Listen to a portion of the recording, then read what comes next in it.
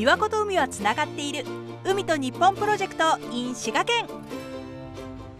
今回のテーマはウィズコロナ時代におけるこれからの水族館の在り方。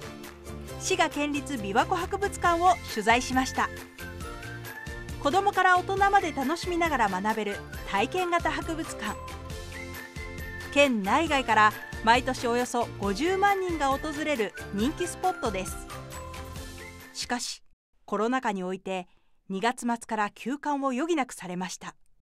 琵琶湖博物館っていうのは五感で体験できる触ったりですとか場合によったら匂ったりっていうそういう体験ができる展示が売りだったんですけどそういうものがですね感染の原因になるんじゃないかということもありまして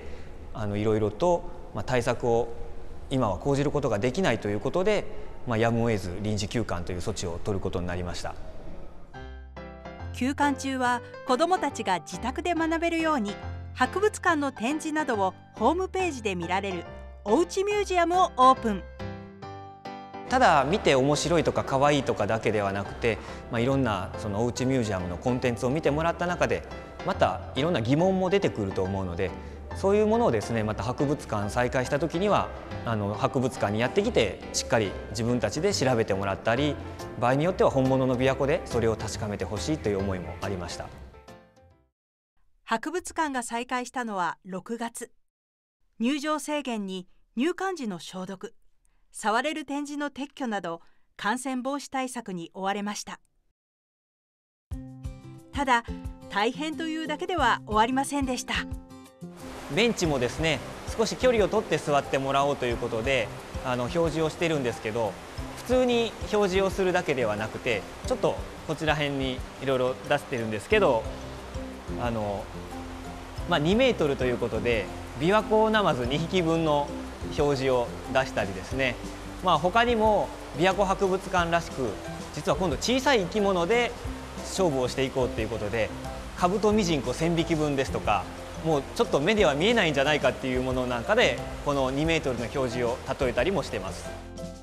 いろいろな制限がある中新しいものを取り入れ来場される方に楽しんでもらえる工夫がされています。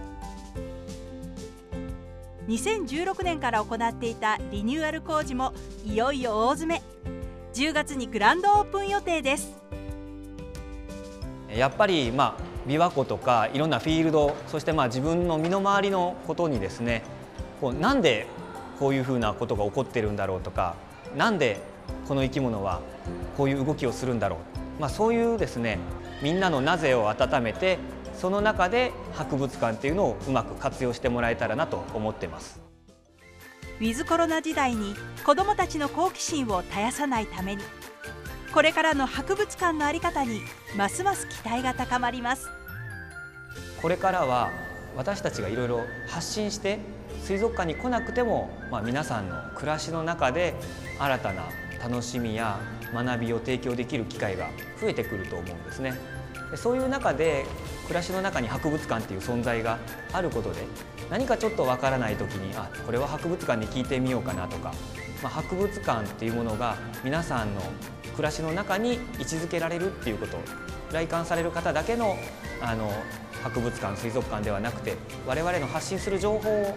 いろんな場所で受け取ってもらって日々の暮らしに役立ててもらえるようにしていけたらと思ってます。海と日本。ご覧いただきありがとうございました。チャンネル登録もお願いします